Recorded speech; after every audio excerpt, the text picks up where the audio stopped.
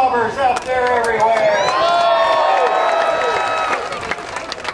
Because I love my freedom, because I love this country, because I want freedom for my children, my grandchildren, and for you, I formed Lori legislators against real ID echo every place. Last weekend was the 4th of July, Independence Day. In the small town where I live, the churches come together to have a joint celebration. We sang many patriotic songs. One of them was, My country, tis of thee, sweet land of liberty. At that point I stopped to think, do we still have all of that sweet liberty that we had when our forefathers founded this country or when that song was written? And the answer was no, of course. Our great country was founded upon personal freedoms and individual rights, little regard to the desires of its citizens and certainly to the 10th Amendment regarding states' rights issues. We, we must believe in our country and our country. When the people fear the government, you have tyranny. And when the government fears the people, you have liberty. And this voice will be heard. Repeal the Patriot Act, act the National Animal ID, and restore the Constitution as the document we are governed by. We are the Constitution! Country, that's right. We have a foreign entity that's our port area. The key to sovereignty is self-control by the states. For the states to stay independent, we must have leaders who will protect our sovereignty.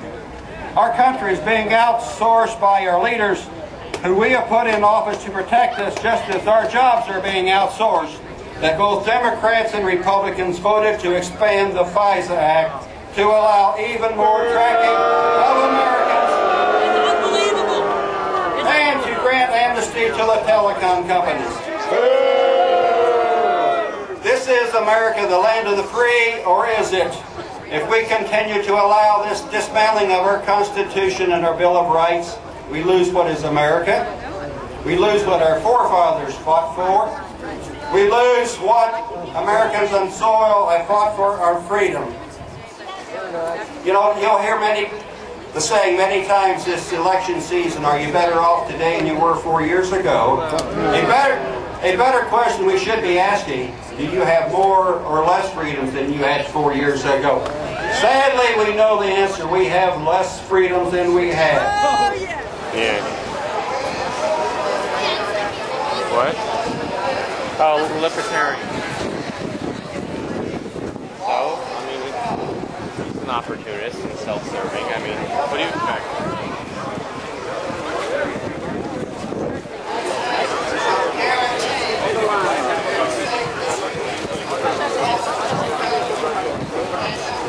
Yeah? sneaking across the border, and at times, even when they tried to offer up phony ID, they would just rush on through. In 2006 and 2007, 31 million citizens of other countries came here on the visa waiver program. Didn't even need a visa. 31 million. Department of Homeland Security can't tell you how many of them went home. Woke the sleeping giant up. We need to wake up the sleeping giant again. And we need to give him insomnia until he gets the job done. Jobs.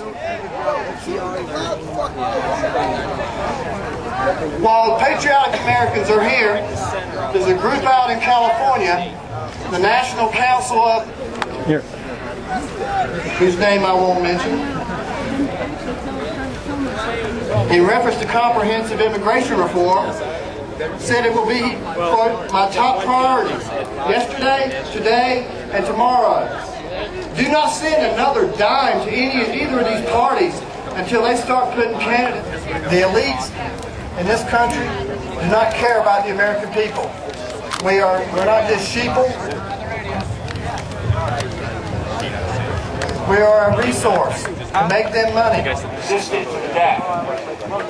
This situation is surely the antithesis of what the founders intended when they designed a constitution, that there's no better definition of tyranny than one that finds an entire nation led into war by the negligence, personal beliefs, or even the whims of a single individual. Be he or she a king, a dictator, or a popularly elected president. Religious hatred for us and make our advocacy of freedom appear to be pure cost of such support for Israel is being measured in the blood and lives of the children of American parents. The cost will quickly become obvious, abhorrent, and utterly acceptable to those parents. Well, or they can snipe at and undermine the president if the war goes belly up. Our post-war National Endowment for Democracy and the American Israel Political Action Committee. They are all rank and reckless interventionists bent on involving America in other people's wars and content to see our republic destroyed by the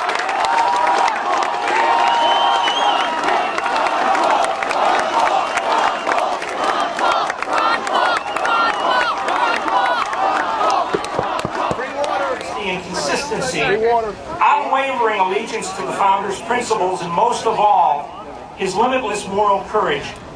Dr. Paul's efforts have created a space in the public square for me and many others to stand and support him in favoring the best foreign policy for America, the foreign policy of non-intervention.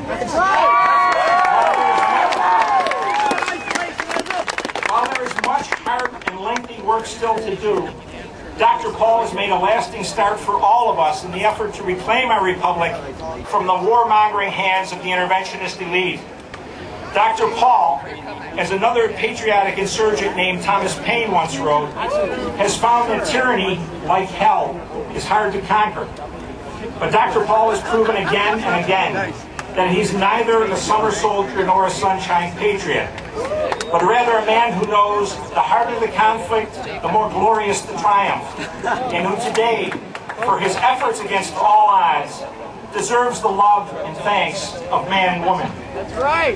May God always bless Dr. Paul. And may God also give us all the more give us all moral courage to carry on to success the campaign to destroy interventionism that he has so nobly begun. Let me close by expressing my deep appreciation for the chance to speak here today. And let me leave you with the words Thomas Paine used to describe what it makes what it takes to make a successful revolution.